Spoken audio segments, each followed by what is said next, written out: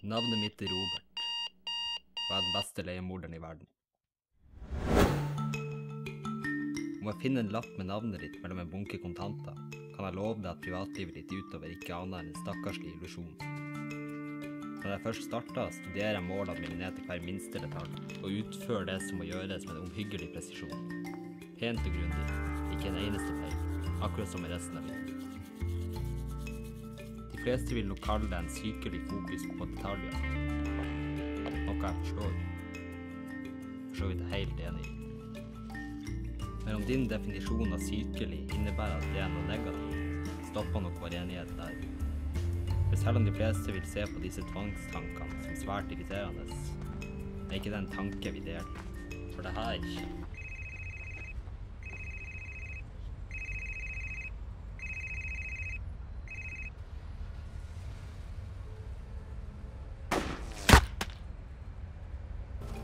Det er det som gjør